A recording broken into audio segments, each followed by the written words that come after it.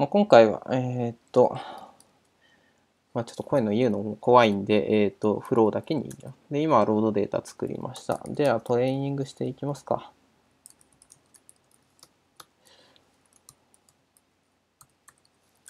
ここから、えっと、機械学習のコードを書いていこうと思います。まあ、どうやっていきましょうかね。最初はじゃあ、えっ、と、ロジスティックリグレッションぐらいからやっていきますかね。えっ、と、インポート、パンダス、まず PD、インポート、えっ、と、なんだっけ、ナムパイ、まず PD。で、えっ、と、フロム、サイキット、あ、エスケランか。エスケランのインポート、じゃあ、えっ、と、の、で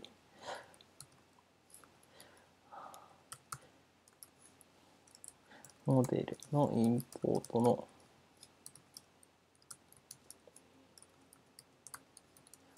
いや、だったと思うけど、あ、すみません。ちょっと、この推薦用の、えっ、ー、と、Emacs のそのコード保管とか入れていきますね。ちょっとその辺はめんどくさいんでカットします。カット。はい、えっ、ー、と、入れてきました。えっ、ー、と、だからこれで多分、サイキット、そこまでやってくない？違う違う、SK ランか。SK ランのリニア、違う違う、リリニアモデルの、そうそう、やっぱこういうのがないとね。まあだから、まあ、Vim の方がこういうの簡単らしいんで、Vim でやるか、PyCharm とかの有料版買って、あの SSH の機能でやるといいと思います。じゃあ、とりあえずロジスティックリグレッションかましていきますかね。えー、っと、if の、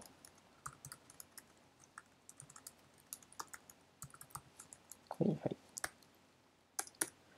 で、えー、っと、この辺からは、まあ、ちょくちょく小技を入れつつ、小技を紹介しつつやっていこうと思います。まあ全部この辺の私の GitHub のコードからコピペするので、まああんまコピペの量は多くしないつもりですけど、まあ私も全、いつも前のプロジェクトからコピペして持ってくるんで、えっ、ー、と、勘弁してください。どこだ？あ、いたいた。で、まず、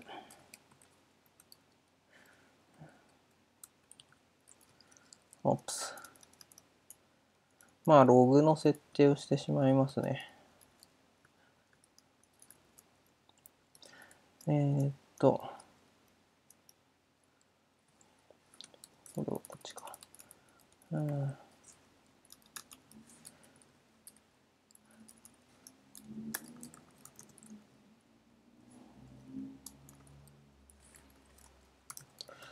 うんとさっき同様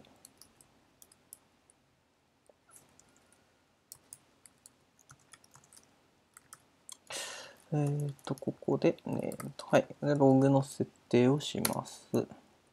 で、何やってるか、まあ、ログのフォーマットは適当です。で、えっ、と、ストリームハンドラーにまず渡して、えっ、と、ストリームハンドラーに、えっ、と、インフォレベル以上、まあ、標準出力にはインフォレベル以上を流すようにしています。で、えっ、と、ファイルの方には、えっ、と、デバッグレベル以上で流すようにしてますで、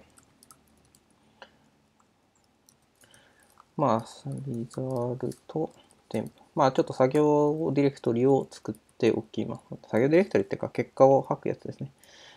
で、そこに、えっと、全部ログを吐く。まあ、この辺 OS パス上に使った方がいいんですけど、まあまあまあいいということで。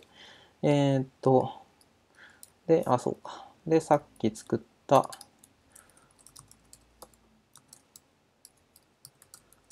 インポートのロードトレインデータとロードテストデータを持ってきましょうと。えー、っと、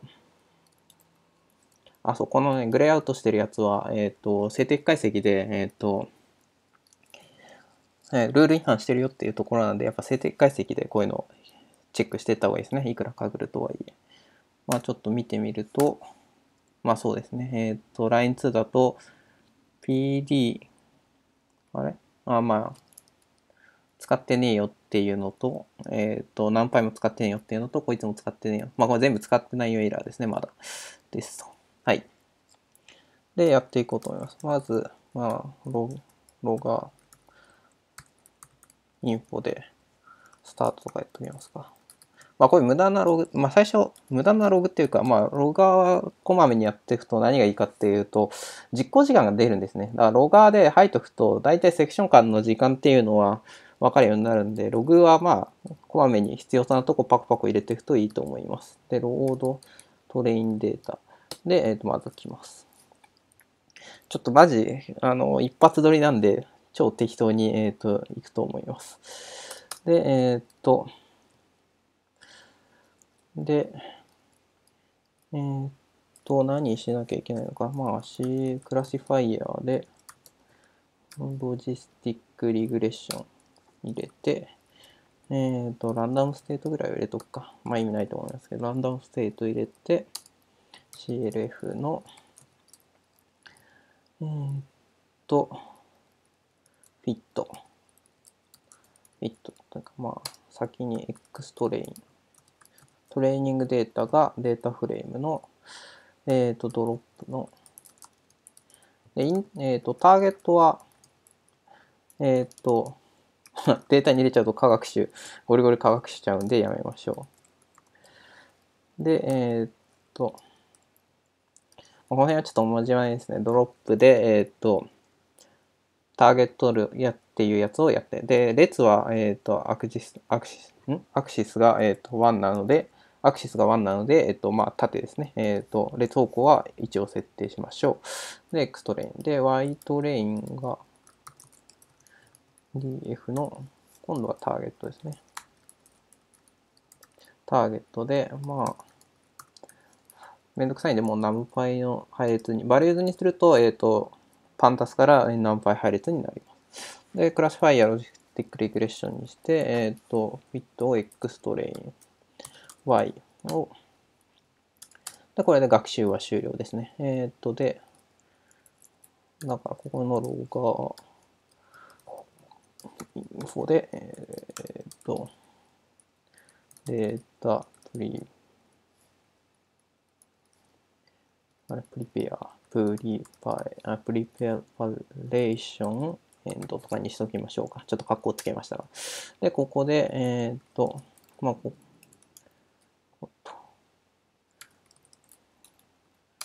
えっ、と、トレインエンドとかにしておきますか。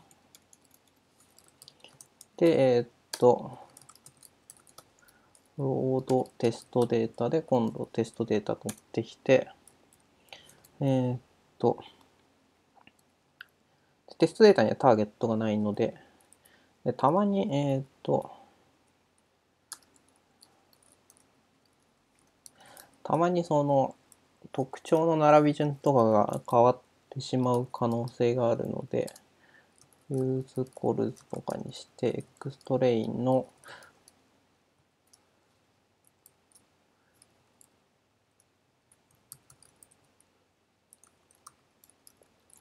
えっ、と、カラム名を取っておきましょうか。まあ最初なんで、 logger の debug に、えっ、と、まあ、カラム名全部出しておきますか。まあ、後々になると邪魔になるだけなんですけど、あと、まあ、数があった方がわかりやすいですね。じゃあ、こうして、えー、っと、シェイプでも流しておきます。ではいいでしょう。で、えー、っと、フィット。で、えー、っと、エンドしたので、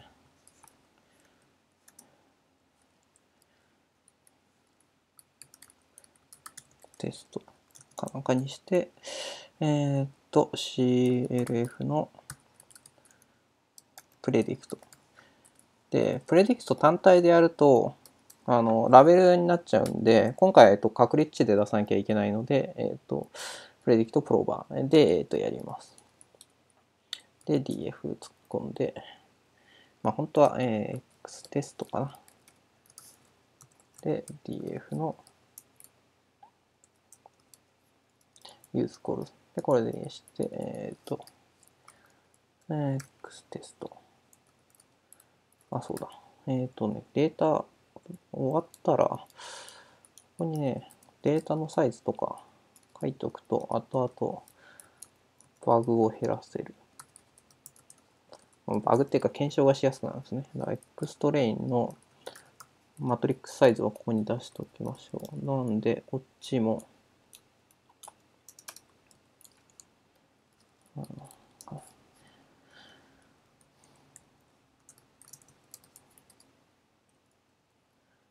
で、えー、とこっちはテストにする。このぐらい書いときゃいいでしょう。で、えっ、ー、と、プレディクトして、じゃあ、 submit ファイル作っていきますかね。ここの予測値をあれに入れなきゃいけないので、えっ、ー、と、あ、そうだ。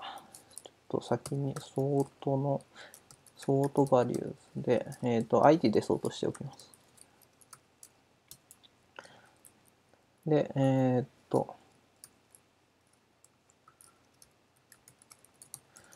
リード CSV で、えー、っと、まあ一応サミットファイルも定数にしておきますか。えー、っと、あ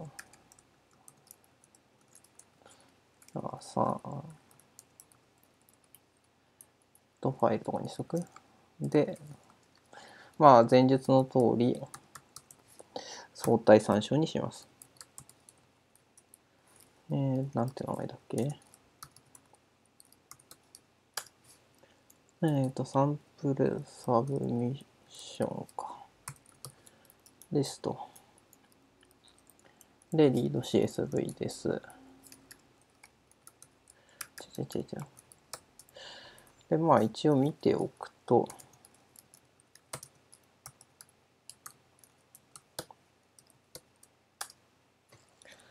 ですね。えっ、ー、と、まあ、ID とターゲットっていう2列のファイルになっています。だこのターゲットのところに今作ったプレットテストっていうのを、えー、とやっていけばいいと思います。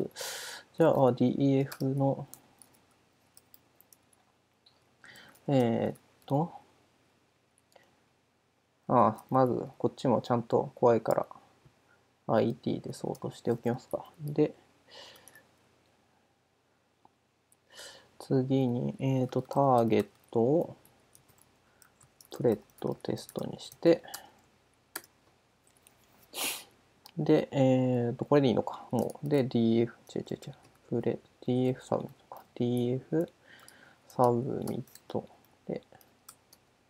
df サミットの、えっ、と、toCSV で書き出しで、で、dear っていうのがあるんで、dear に、submit の CSV で書き出せば OK と。これで、えっ、と、まあ、簡単な、えっ、と予測はこれでできたと思います。ちょっと流してみますか。まあ、Python はやっぱランタイムエラーが多くなるんで、こっからが本番的なとこありますけど、 result tmp フォルダを作ってなかったですね。はい。ドン。はい、ロードスタート。で、ちょっと見てみますかね。えー、っと、あ、落ちてる。やりたいのテイルの -f で、リザルト添付のこのログを見ると、こっちも流れていると。ああ、で、あ、デバッグの文字が。えー、まあ、この辺が動的片付け言語の静的解析の、えっ、ー、と、あれですね、限界ですね。あれ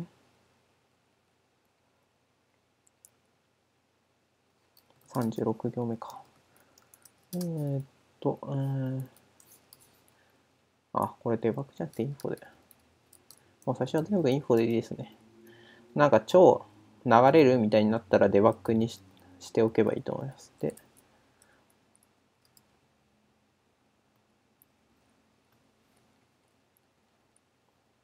うん、さっきやった、まあ、コラカラムスはこんな風に流れますよって、うんうん、ふんふんってで58個あるんだ、ふんふんでこんなのあるんだ。っていう、まあ、こういうのは最初にやっとくべきですけどね。まあ、今回はそういう、えっ、ー、と、サミットのフローを紹介するもんというふうに、本当はその EDA とか基礎集計っていうのが分析の本番なんですけど、まあ、今回はテクニック的なところのみを紹介する動画ということで許してください。で、またエラーがあって、えー、あ、何？ああ、わかった。さっきの俺、静的解析の文章ちゃんと読んでなかったですね。多分ここやればまた出るんですけど、うん。 redefine だから NumPy を PD でよくやる。はい。ちゃんと静的解析の、えっ、ー、と、チェックはやりましょう。 NumPy 使ってないんだ、また。まあ一応使ってないけど、ナンパイぐらいは許してあげましょう。はい。で、データ読み込んで、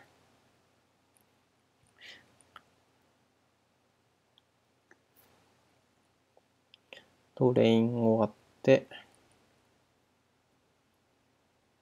うん。で、えっ、ー、と、あったと思います。で、そうすると、リザルト添付以下のサミットに、お入ってる。ただ、ちょっとインデックス行が入っちゃって、これはパンダスあるあるなんですけど、えー、インデックスイコールファルスと。お、なんか、カグラスラックで呼ばれた。えー、っと、これでもう一回流すと、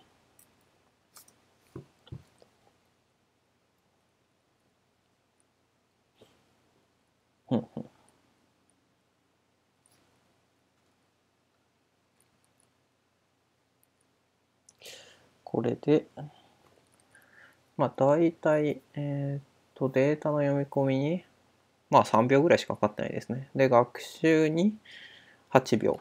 で、最後、まあ4秒ぐらい、えっ、と、読み込んでサブミッションするのにかかってると。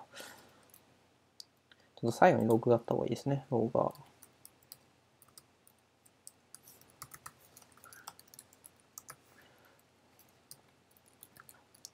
まあ、これで一旦、えっ、ー、と、簡単なサブミッションが、えっ、ー、と、これで終わる。